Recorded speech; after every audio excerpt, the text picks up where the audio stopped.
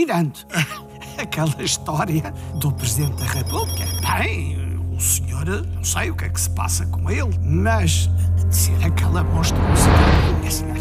A escravatura preciso não conhecer a história. Os escravos, na sua maior parte, que foram capturados pelos brancos nas guerras indígenas que havia nas zonas africanas, em que os sobas das tribos vencedoras vendiam os escravos e eram os chefes africanos que lhes vinham vender os escravos.